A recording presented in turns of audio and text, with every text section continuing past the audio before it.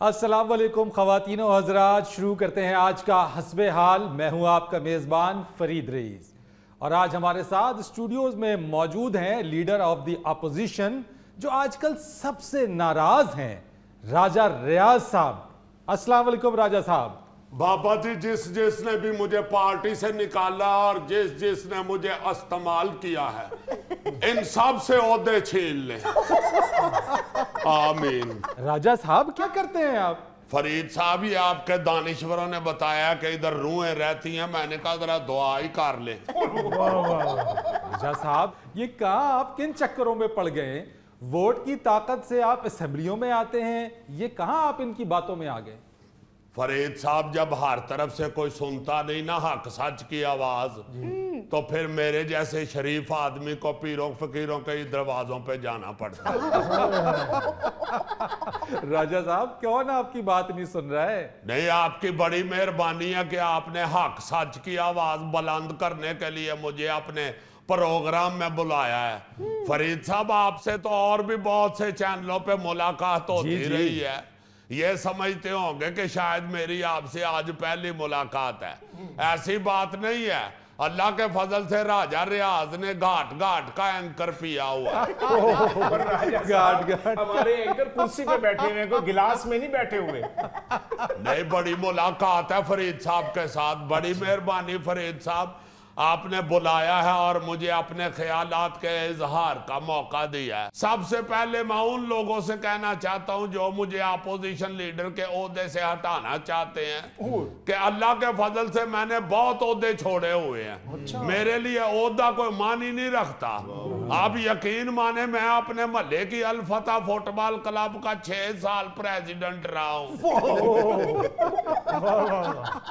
छोटी सी लड़ाई हुई है उधर उन्होंने कहा कि राजा साहब प्रेसिडेंट ही नवा फुटबॉल लेके दिया करेगा। मैंने कहा देखे मैंने छह साल नवा फुटबॉल लेके आप लोगों को दिया है। अगर आप कहते हैं कि ओहदा छोड़ दो तो मैं छोड़ देता हूँ मेरे लिए ओहदे कोई मान ही नहीं रखते। तो राजा साहब अच्छा, आप छोड़ क्यों नहीं देते हैं? आपके अपोजिशन लीडर के ऊपर दो पटिशने दायर हो गई हैं कि आप जो है वो अपोजिशन लीडर हैं ही नहीं आप नहीं रह सकते साहब छोड़ देंगे अल्लाह के फजल से। छोड़ने का तो मुझे इतना तजर्बा है।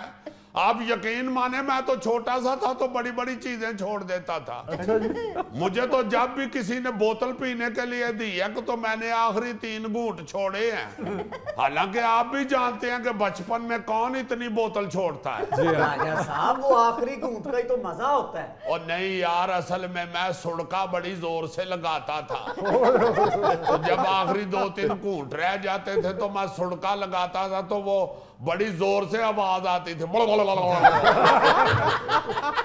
वो सात लोग डर जाते थे इसलिए मैं फिर छोड़ ही देता था और भी बड़ी बड़ी चीज़ें छोड़ी हैं एक दफ़ा मैं बर्फ़ वाला गोला गड्ढा खरीद रहा था अच्छा। तो वो जो गोले वाला बंदा था वो ऊपर रंग डाल रहा था अच्छा। उस वक्त मेरी नज़र पड़ी है कि गुड्डी के ऊपर बो के आ रही थी अच्छा। आप यकीन माने रंग पड़ा हुआ मैं गोला छोड़ के दौड़ गया छोड़ने का अल्लाह के फजल से मुझे कोई खौफ नहीं है। मैं तो हर इम्तिहान में अंग्रेज़ी का पर्चा छोड़ के आ जाता यकीन माने फरीद साहब मुझे ऑफ़र हुई है क्लास में मनीटर बनने की।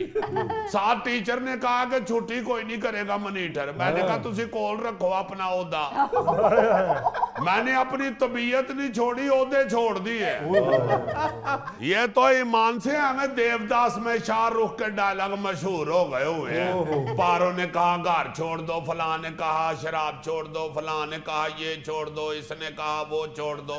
जितनी चीज़ें मैंने छोड़ी हुई हैं देवदास में हीरो मुझे होना चाहिए राजा साहब किसी ने ये नहीं कहा सियासत छोड़ दो? देखे सियासत मेरा ओढ़ना बछोना है मैं आवाम की खिदमत के लिए सियासत करता हूँ। मैं अल्लाह के फजल से कोई अपने रोटी पानी कमाने के लिए सियासत नहीं करता। वो अल्लाह ने मुझे बड़ा दिया हुआ है। जी, जी, मैं तो लोगों की खिदमत के लिए सियासत करता हूँ फरीद साहब। नहीं नहीं हमें पता है जिस तरीके से आप अपने छोड़ने की दास्तान बयान कर रहे हैं आप बहुत बड़े छोड़ू हैं। और यार देखना कोई इस तरह की चीज़ ना चलाना। राजा पहले बड़ा जज्बाती हुआ हुआ राजा साहब क्या बात है वैसे? बड़ी जज्बाती तकरीर कर दी आपने असेंबली के अंदर। पछता तो नहीं रहे कहीं अपने फैसले पे? नहीं फरीद साहब ऐसी कोई बात नहीं। जज्बात तो वैसे ही मेरी तकरीर में आते हैं मुझे तो अपने हलके में शहनशाह जज्बात भी कहते हैं। बिल्कुल मैं जानता हूँ राजा साहब। फ़िल्म स्टार अलाउद्दीन के बाद मेरे अंदर ही तो जज्बात पाए जाते हैं। पछताने वाली कोई बात नहीं है मैं वैसे ही इनको आईना दिखाना चाह रहा था। ये ख्वाजा साद रफीक और राना तनवीर वगैरह उधर बैठे हुए थे। इन लोगों ने उस वक्त मुझे चुक चुका के बड़ा कहा था राजा ले दे गया है तुमने इस वक्त जिस शख्स के खिलाफ खड़े स्टैंड लिया है बहुत कमाल कर दिया तुमने। तुम्हारा नाम सुनहरी हरूफ में लिखा जाएगा। हाँ। और सुनहरी की कोई कंध ते भी नहीं लिखन दे। राजा साहब आपको झाड़ पे चढ़ा दिया था उन्होंने। तो और क्या फरीद साहब उस वक्त इन लोगों ने मुझे इतना पंप किया कि मैं गैसी गुब्बारे की तरह छत पे जा लगा। आप भी तो राजा साहब हवाओं में उड़ रहे थे उस वक्त। मुझे कोई पछतावा नहीं है फरीद साहब। मैंने हक और सच की आवाज़ बुलंद की है। मेरे साथ तो फरीद साहब सियासत में शुरू से ही जियास्तियाँ होती आ रही है। मेरे तो मुखालफिन मेरे पोस्टर पाड़ के बाहरले मुल्क में भी दौड़ जाते थे। जब वापस आते थे तो इलेक्शनों में मैं उनको गले लगा लेता था। मैं कभी दिल में रखने वाला बंदा नहीं हूँ। मगर मैं वो हर उस शख्स की मुखालफत करूँगा जो मेरे मुल्क के अंदर कोई फितना बन के आगे आएगा। बहुत अच्छा मैं उसके रास्ते में खड़ा हूँगा राजा रियाज हमेशा हक और सच की आवाज़ बुलंद करने के लिए खड़ा हुआ है। मैं जानता हूँ राजा साहब मैं फैसलाबाद का हूँ। आपने इस चक्कर में कई पार्टियाँ तब्दील की हैं। आपकी तारीफ़ पे लानत है वैसे। खुद तुम सिर्फ़ एक पार्टी ज्वाइन करते हो अफ्तार पार्टी। इस तरह की बात नहीं करते। राजा मुझे जिस पार्टी के अंदर भी अपने मुल्क के खिलाफ कोई चीज़ नज़र आएगी मैं उसको फ़ौरन छोड़ूँगा। और ऐसे ही छोड़ूँगा जैसे मैंने रंगाला गोला गड्ढा छोड़ा था। जी जी ये तो हम जानते हैं राजा साहब। आप दिलेर आदमी हैं लेकिन आजकल कुछ दुखी हुए हुए हैं। और दुखी इसी बात से हूँ ना फरीद साहब कि ने मुझे कहा डट जा राजा डट जा जब राजा डट गया तो इनका वो पता ही नहीं चल रहा। ये मेरे डट जाने की वजह से फरीद साहब इनको हकूमत मिली है। अच्छा। गवर्नमेंट में ये ऐसे ही नहीं आ गए राजे की दलेरी की वजह से आए हैं। खुद अब देखें झंडे वाली गाड़ियों पे फिर रहे हैं और मुझे रक्शे वाला नहीं बैठा रहा। आप यकीन माने कई तो जानबूझ के मेरे पास से गुजरते हुए मास्क ऊपर करके तो नीचे मारनी शुरू कर देते हैं। मुझे कोरोना से डरा देते हैं कि हमारे पास ना आए। इस तरह का रवैया इन्होंने किया कि ईमान से मुझे दुख हुआ है। इन लोगों ने देखे ये इनके साथ मैंने क्या किया है? इनके लिए मैंने स्टैंड लिया है। और ये जब इनको गवर्नमेंट मिल गई है तो ये देखे इन्होंने आँखें माथे पे रख ली। है राजा साहब पीटीआई ये कहती है कि आप गुमराह नहीं हुए थे। आपने एक टिकट के एवज अपनी वफादारी को बेच दिया और कुदरत का इंसाफ देखिए कि आज आपसे कोई हाथ मिलाने को तैयार नहीं। ठहर जाए होए होए होए होए। एमे फजूल ना बात को हवा दिया करो। बात वो गलत कर रहे हैं। मैं बिका नहीं हूँ अल्लाह के फजल से। एक पैसा भी अगर किसी से लिया हो तो मुझे असेंबली में गोली मार दे। और यार बात मेरी हो रही है तुम बीच में भुट्टो ले आए हो ये भुट्टो वालों ने भी तो मेरे साथ नाइंसाफी की है। इन लोगों ने भी मुझे कहा था कि राजा बड़ा शेर है। हाँ। जब हुकूमत मिल गई है तो अब राजा इनको बकरा भी नहीं नज़र आ रहा। अकेला राजा किस किस का रोना रोए? राजा साहब लगता है आपके साथ हाथ ही हो गया है। नून लीग वाले तो लगता है आपको टिकट भी नहीं देंगे। आप देखे ना जरा मेरी टिकट का कोई फैसला नहीं किया और खुद टिकटें लेके उम्र पे चले गए। मगर मुझे फरीद साहब कोई गम फ़िक्र नहीं है। मैं अल्लाह के फजल से इनकी टिकटों का भूखा नहीं हूँ। मैंने सारी ज़िंदगी टिकट पे सफ़र किया है। और तहरीक इंसाफ का आप खुद कह चुके हैं कि आप टिकट नहीं लेंगे। और बिल्कुल उनके टिकट मैं कभी भी नहीं लूँगा।